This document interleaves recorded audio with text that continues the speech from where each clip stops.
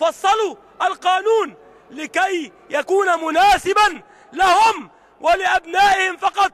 مدى الحياة؟ وكأننا انتهينا من التوريث في الحكم والسياسة فإذا بنا نبدأه في القضاء.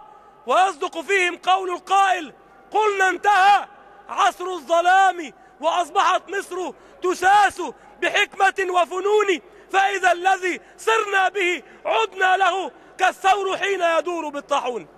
يا سادة تمرير المشروع في فترة فراغ دستوري يعني أن هناك ضرورة تلح لإصدار القانون ليخبرني أي قادم منهم ليخبرني أي إنسان ما الضرورة الملحة لإصدار هذا القانون في هذا التوقيت.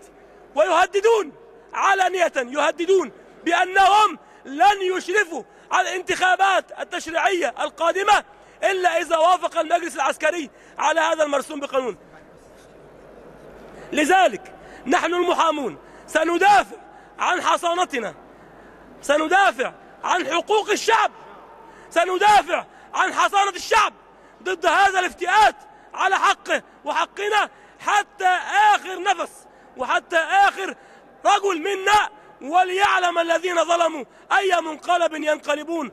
الله أكبر وعاشت مصر حرة وعاشت المحاماة حرة. الشعب يريد تطهير القضاء.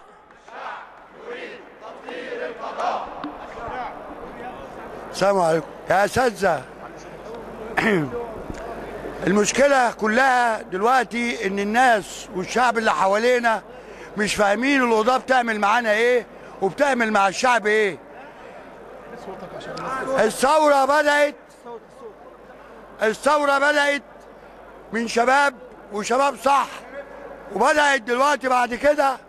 مع الأسف الشديد تنحرف وتنحرف عن مسارها لما وضعت القطع العسكرية ومسكوا البلد وبدأوا يحاربوها وعن مسارها وعن فيها. النهارده مش عارفين النهارده مين اللي بيحكم مصر دلوقتي. ومين اللي بيدير مصر؟ هل الجيش ولا ولا عصام شرف ولا النهارده القضاة اللي ان هم النهارده عايزين يحكموا البلد؟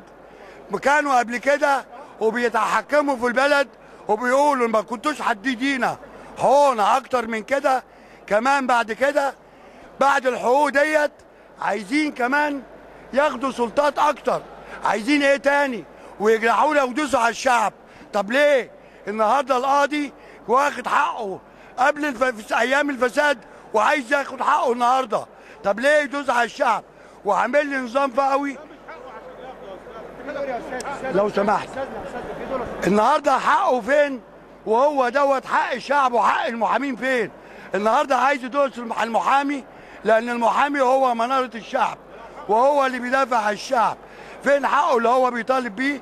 اللي بيدعي إن هو حقه وبيدعي إنه يقول إن ده حقي.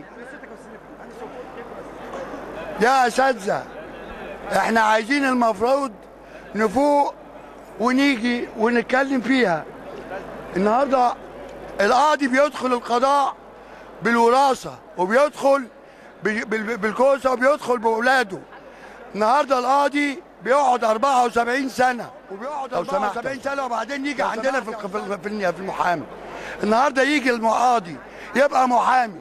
قانون المحاماة بيمنع أي قاضي أو أي ضابط بوليس يقول مهنته السابقة.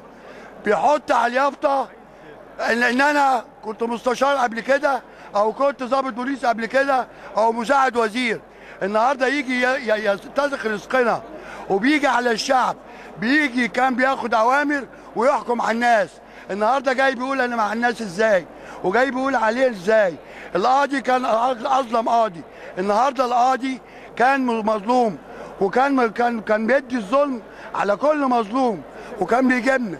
النهارده اصحى يا اساتذه النهارده السلطة القضائية لو سرت البلد ديت مش هترجع ورا 50 سنة و200 سنة. كل ضد ضد لو سمحت القضائية وضد كل اللي بيجي لأن دوت عار علينا لو السلطه القضائية مسكت البلد لأنهم قضاء الفساد وقضاء التزوير. وشكرا.